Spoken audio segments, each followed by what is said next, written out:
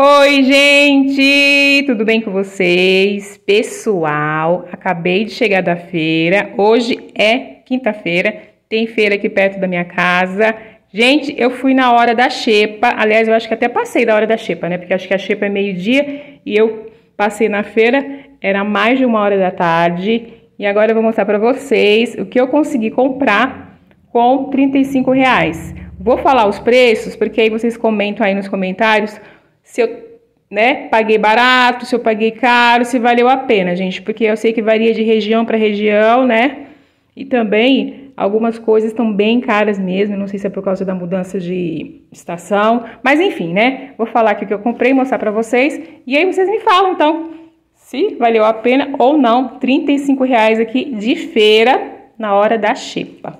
Olha, eu vou começar mostrando aqui, gente, esse cheiro verde, na verdade tá faltando a cebolinha, né? É só a, a salsinha que tá aqui, né?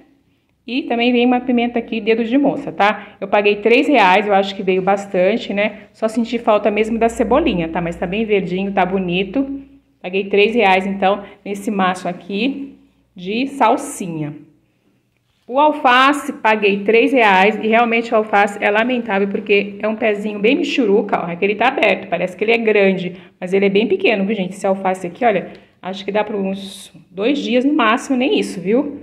Três reais também. O alface aqui é muito caro. Eu acho o alface aqui em São Paulo muito caro, mesmo na feira. No mercado, às vezes, o pé é um, pouco, um pouquinho maior, mas aí eu pago uns quatro reais, por aí. Comprei também esse mamão aqui, três mamões, né? É, mamão papaya que fala, né? Aqueles pequenos, né? Olha só, até que tá grandinho. E aqui no caso foram três mamões por 10 reais. Achei que o preço até que estava bom pelo tamanho do mamão. Parece aquele mamão lá, é aquele maior que a gente conhece, agora esqueci o nome. Mas esse daqui é o papaya. Então eu paguei 3 reais nesse mamão, nos três. 10 reais, aliás, nos três. Aqui, gente, aquela promoção, que eu não sei se na região de vocês tem, fazem no final da feira, sabe? A bacinha, ou então leve três pacotes por 10, enfim. Aí eu encontrei uma barraca que estava fazendo três pacotes por 5.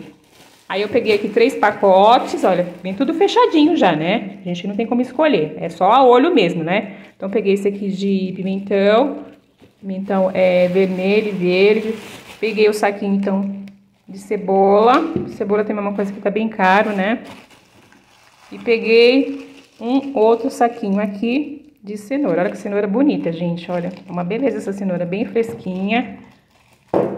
Peguei também outro saquinho Aqui, outro pacotinho, né? Aqui tem três, três pacotinhos por cinco reais. Aí eu peguei dois pacotinhos de quiabo. Achei que o quiabo tava bonito, porque tem que ser um quiabo pequeno, né?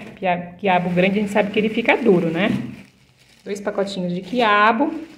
E peguei aqui uma abobrinha. Aqui nesse saquinho, gente, peguei todo esse saquinho aqui, que tem mais de um quilo, foi cinco reais, tá? De tomate, né? O tomate também achei que tava com preço bom. Inclusive, o tomate é uma das coisas que tá baixando o preço aqui, ó. É pequenininho, mas paguei cinco reais nesse saco. E aqui, gente, limão. Limão, às vezes tá barato, às vezes tá caro. Depende muito, né, do lugar onde a gente compra. Aqui tem uma dúzia de limão. Eu paguei dois reais.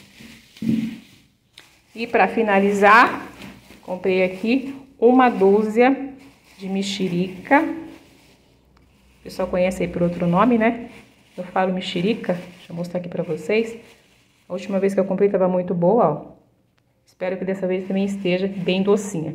Então, gente, vocês viram que eu não comprei muita coisa, né? É mais ou menos uma feira aqui para uma semana. Acho que uma semana essa feira dá para duas pessoas.